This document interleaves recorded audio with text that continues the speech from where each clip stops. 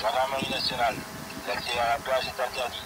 Veuillez quitter les lieux. Drone hélico, enfin opération mobilisation générale de l'ensemble des gendarmes hein, pour faire respecter euh, les consignes et les arrêtés euh, d'interdiction et de confinement.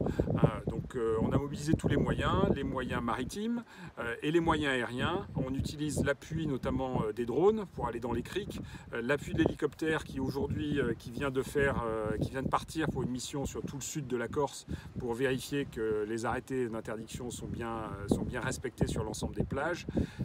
L'hélicoptère en fait nous renseigne, demande aux personnes éventuellement de partir et il y a des patrouilles de gendarmerie qui sont à proximité, qui interviennent si les personnes n'obtempèrent pas.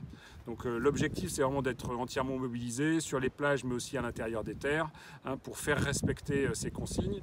Euh, on sanctionne si on doit sanctionner, hein, mais, mais notre objectif, je le rappelle, n'est pas forcément de sanctionner, c'est vraiment de protéger l'ensemble des citoyens, l'ensemble des habitants de la Corse. Hein, ces mesures de confinement visent à nous protéger avant tout et nous faisons respecter ces mesures de protection. C'est bien là le message que je veux faire passer. Écoutez, tous les jours nous verbalisons parce que malheureusement des personnes ne respectent pas les, consignes et les directives.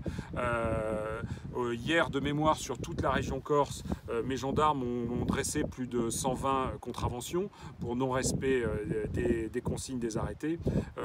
néanmoins, on voit bien les plages sont, désertes, la circulation est beaucoup, beaucoup moins. Depuis quelques jours, on voit bien que l'ensemble de la population comprend l'intérêt de ces mesures et respecte ces mesures. C'est là l'essentiel le drone de, la gendarmerie pour sécuriser les plages pour deux objectifs.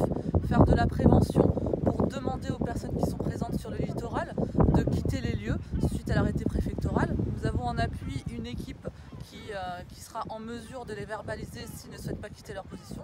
Le deuxième objectif poursuivi, c'est de pouvoir identifier des personnes qui, sont, qui se promènent sur, euh, sur des criques qui sont difficilement accessibles et justement de pouvoir verbaliser sur toute la partie du littoral. On possède un micro, un message que nous diffusons et qui permet de faire des de, de la prévention.